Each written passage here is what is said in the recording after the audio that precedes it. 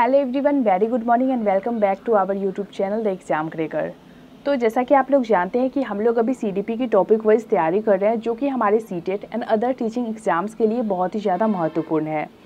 आज जिस टॉपिक से हम लोग क्वेश्चंस करने वाले हैं, वो है अभिप्रेरणा एवं अधिगम। इस टॉपिक से रिलेटेड टोटल 140 क्वेश्चंस हम सॉल्व करेंगे, जिसको हम थ्री पार्ट्स में कंप्लीट करेंगे। तो इस वीडियो में हम मोटिवेशन एंड लर्निंग से रिलेटेड पिछली परीक्षाओं में पूछे गए महत्वपूर्ण प्रश्नोत्तर देखेंगे। पिछली वीडियोस की तरह ही आपको मेरे सही उत्तर पे टिक करने से पहले आपके अकॉर्डिंग जो उत्तर सही है, उसे चूज़ करना है और अपने मार्क्स भी काउंट करने हैं आपको। तो शुरू कर लेते हैं हमारी आज की इस वीडियो को। क्वेश्चन नंबर वन में पूछा गया आपसे कि सीखने की प्रक्रिया में अभिप्रेरणा फ़र्स्ट ऑप्शन है शिक्षार्थियों को एक दिशा में सोचने के योग्य बनाती है। सेकेंड है, शिक्षार्थियों में सीखने के प्रति रुचि का विकास करती है। थर्ड शिक्षार्थियों की स्मरण शक्ति को पैना बनाती है। एंड फोर्थ ऑप्शन है कि पिछले सीखे हुए को नए अधिगम से अलग करती है। तो इन चारों ऑप्शंस को देखते हुए आपको ये बताना है कि सीखने की प्रक्रिया में अभिप्रेरणा का क्या योगदान है। ये क्वेश्चन आपका सीटेड जून 2011 फ़र्स्ट पेपर में पूछा जा चुका है। वन का करेक्ट आंसर होगा आपका ऑप्शन बी, सीखने की प्रक्रिया में अभिप्रेरणा शिक्षार्थियों में सीखने के प्रति रुचि का विकास करता है। अगला क्वेश्चन है आपका क्वेश्चन नंबर टू एक बच्चा अतीत की समान परिस्थिति में की गई अनुक्रियाओं के आधार पर नई स्थिति के प्रति अनुक्रिया करता है। यह किससे संबंधित है? फ़र्स्ट ऑप्शन है सीखने की प्रक्रिया का अभिवृत्ति नियम। सेकंड सीखने का तत्परता नियम। थर्ड सीखने का सादृश्यता नियम। एंड फोर्थ ऑप्शन है सीखने का प्रभाव नियम। टू का करेक्ट आंसर होगा हमारा ऑप्शन सी सीखने का सादृश्यता नियम।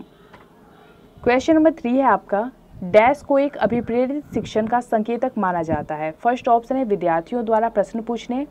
सेकंड है कक्षा में एकदम खामोशी। थर्ड कक्षा में अधिकतम उपस्थिति। एंड फोर्थ ऑप्शन है शिक्षक द्वारा दिया गया उपचारात्मक कार्य। थ्री का करेक्ट आंसर होगा हमारा ऑप्शन वन विद्यार्थियों द्वारा प्रश्न पूछने को एक अभिप्रेरित शिक्षण का संकेतक माना जाता है। नेक्स्ट है क्वेश्चन नंबर फोर सीखने का वह सिद्धांत जो पूर्ण रूप से और केवल अवलोकनीय व्यवहार पर आधारित है, सीखने के डैश सिद्धांत से संबद्ध है। फ़र्स्ट ऑप्शन है रचनावादी सेकंड संज्ञानवादी थर्ड विकासवादी एंड फोर्थ ऑप्शन है व्यवहारवादी। तो सीखने का जो सिद्धांत पूर्ण रूप से अवलोकनीय व्यवहार पर आधारित है वह सीखने के व्यवहारवादी सिद्धांत से संबद्ध है। ऑप्शन डी हमारा सही होगा। क्वेश्चन नंबर फाइव निम्नलिखित में से कौन सी विशेषता आंतरिक रूप से अभिप्रेरित बच्चों के लिए सही नहीं है? फ़र्स्ट ऑप्शन है, वे चुनौती भरे कार्यों को पसंद करते हैं। सेकंड है, ये हमेशा सफल होते हैं। थर्ड उन्हें कार्य करने में आनंद आता है। एंड फोर्थ ऑप्शन है, वे कार्य करते समय उच्च स्तर की ऊर्जा प्रदर्शित करते हैं। तो इन चारों ऑप्शंस में से जो आंतरिक रूप से अभिप्रेरित बच्चों के लिए सही नहीं होगा, वो होगा ऑप्शन बी ये हमेशा सफल होते हैं। क्योंकि ऐसा आप किसी भी आदमी के लिए नहीं कह सकते कि ये हमेशा सफल ही होगा, क्योंकि हार जीत साथ साथ चलती रहती है। और जो सौ बार सफल होते हैं, वो भी एक बार असफल हो सकते हैं, और जो सौ बार असफल होते हैं, वो भी एक बार सफल हो सकते हैं। अगला क्वेश्चन देखेंगे। क्वेश्चन नंबर सिक्स सामान्य परिपक्वन से पहले प्रशिक्षित करना प्रायः फ़र्स्ट ऑप्शन है सामान्य कौशलों के निष्पादन के संदर्भ में बहुत लाभकारी होता है। सेकेंड है, कुल मिलाकर हानिकारक होता है। थर्ड दीर्घकालिक दृष्टि से लाभकारी होता है। एंड फोर्थ ऑप्शन है, लाभकारी हो या हानिकारक। यह इस बात पर निर्भर करता है कि प्रशिक्षण में किस प्रकार की विधि का प्रयोग किया गया है। सिक्स का करेक्ट आंसर होगा हमारा ऑप्शन डी सामान्य परिपक्वन से पहले प्रशिक्षित करना प्रायः लाभकारी हो या हानिकारक। यह इस पर निर्भर करता है कि प्रशिक्षण में किस प्रकार की विधि का प्रयोग किया गया है। अगला क्वेश्चन है क्वेश्चन नंबर सेवन निम्न में से कौन सा कथन अभिप्रेरणा एक प्रक्रिया के संदर्भ में उपयुक्त नहीं है? फ़र्स्ट ऑप्शन है, यह व्यक्ति को लक्ष्य की ओर ले जाता है। सेकेंड है, यह व्यक्ति की शारीरिक आवश्यकताओं की संतुष्टि करता है। थर्ड यह मनोवैज्ञानिक आकांक्षा को प्राप्त करने में सहायता करता है। एंड फोर्थ ऑप्शन है, यह व्यक्ति को अप्रिय स्थिति से दूर रखता है। तो अभिप्रेरणा एक प्रक्रिया। इस संदर्भ में इन चारों स्टेटमेंट्स में से जो सही नहीं है, जो इनकरेक्ट है, उसे चूज़ करना है आपको। सेवन का करेक्ट आंसर होगा हमारा ऑप्शन डी यह व्यक्ति को अप्रिय स्थिति से दूर रखता है। यह अभिप्रेरणा एक प्रक्रिया के संदर्भ में सही कथन नहीं है। अगला क्वेश्चन है आपका क्वेश्चन नंबर एट उपलब्धि अभिप्रेरक के संबंध में निम्न में से कौन सा कथन सही है? फ़र्स्ट ऑप्शन है उपलब्धि अभिप्रेरक जीवित रहने के लिए आवश्यक है। सेकंड है, यदि व्यक्तिगत क्षमताओं की संतुष्टि महत्वपूर्ण है तो उपलब्धि अभिप्रेरक को विकास प्रेरक कहा जा सकता है। थर्ड है, यदि व्यक्तियों के मध्य प्रतियोगिता पर बल है तो उपलब्धि अभिप्रेरक को सामाजिक अभिप्रेरक कहा जा सकता है। एंड फोर्थ ऑप्शन है, इनमें से सभी। एट का करेक्ट आंसर होगा हमारा ऑप्शन डी उपरोक्त सभी। नेक्स्ट है क्वेश्चन नंबर नाइन प्राथमिक विद्यालयों के बालकों के लिए निम्न में से किसे बेहतर मानते हैं? फ़र्स्ट ऑप्शन है वीडियो अनुरूपण सेकंड प्रदर्शन थर्ड स्विंग के द्वारा किया गया अनुभव एंड फोर्थ ऑप्शन है इनमें से सभी।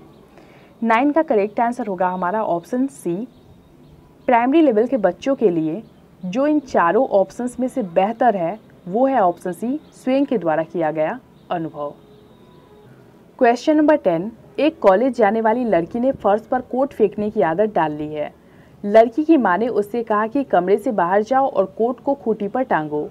लड़की अगली बार घर में प्रवेश करती है, कोट को हाथ पर रखकर अलमारी की तरफ़ जाकर कोट को खूटी पर टांग देती है। यह उदाहरण है फ़र्स्ट ऑप्शन है श्रृंखलागत अधिगम का, सेकंड उद्दीपन अनुक्रिया अधिगम का, थर्ड प्रतथ्य अधिगम का एंड फोर्थ ऑप्शन है इनमें से सभी। टेन का करेक्ट आंसर होगा हमारा ऑप्शन वन श्रृंखलागत अधिगम का। नेक्स्ट है क्वेश्चन नंबर इलेवन, बाह्य अभिप्रेरणा में समावेशित किया जाएगा, वन, प्रशंसा एवं दोषारोपण, टू, प्रतिद्वंदिता, थ्री, पुरस्कार एवं दंड, फोर, परिणाम का ज्ञान। ऑप्शंस आपको कूट के माध्यम से देने हैं। फ़र्स्ट ऑप्शन है one and third, second one, two and third third option है केवल टू, एंड फोर्थ ऑप्शन है इनमें से सभी। तो बाह्य अभिप्रेरणा में किस किस को समावेशित किया जाएगा, ये बताइए।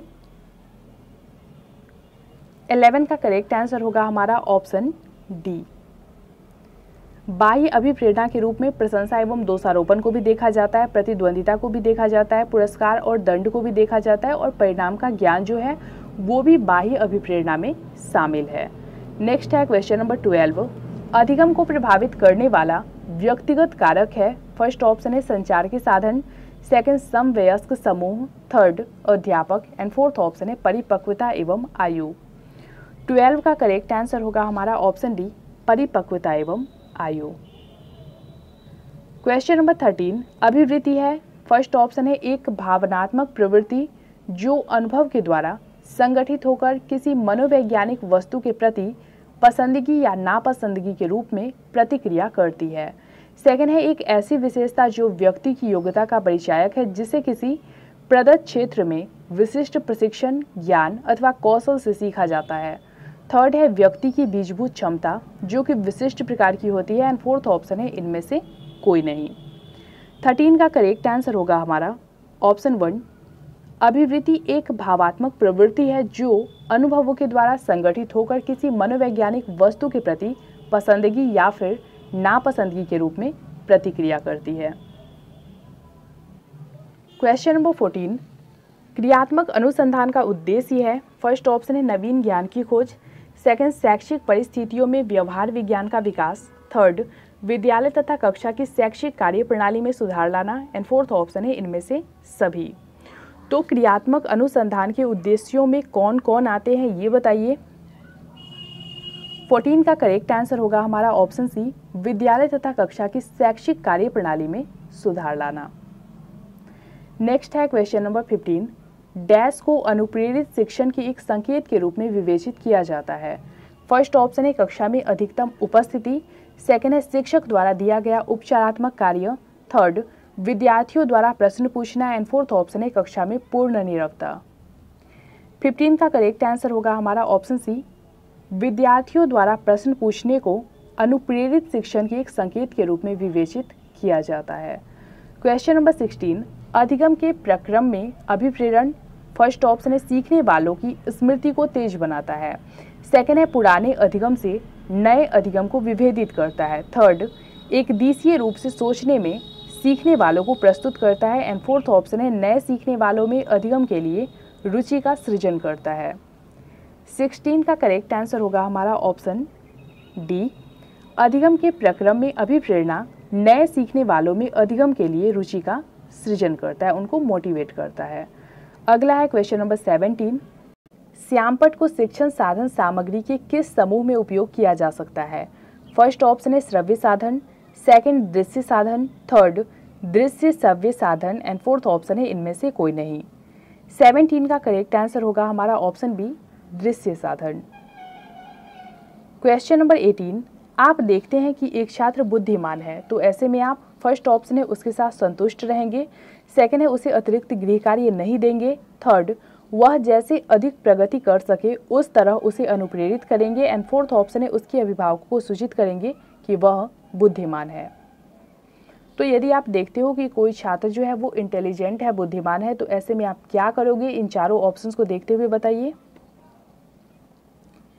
18 का करेक्ट आंसर होगा, हमारा ऑप्शन सी वह जैसे अधिक प्रगति कर सके, उस तरह से उसे अनुप्रेरित करेंगे। एक शिक्षक विद्यार्थियों को अनुप्रेरित कर सकते हैं। फ़र्स्ट ऑप्शन है पुरस्कार देकर सेकंड सही मार्गदर्शन कराकर थर्ड उदाहरण देकर एंड फोर्थ ऑप्शन है कक्षा में भाषण देकर। 19 का करेक्ट आंसर होगा हमारा ऑप्शन बी एक शिक्षक विद्यार्थियों को सही मार्गदर्शन कराकर अनुप्रेरित कर सकते हैं।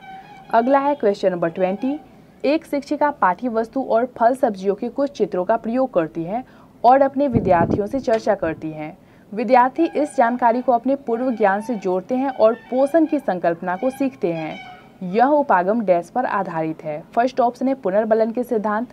सेकंड अधिगम के सक्रिय अनुबंधन सिद्धांत। थर्ड ज्ञान के निर्माण। एंड फोर्थ ऑप्शन है अधिगम के शास्त्रीय अनुबंधन सिद्धांत। ट्वेंटी का करेक्ट आंसर होगा हमारा ऑप्शन सी ज्ञान के निर्माण।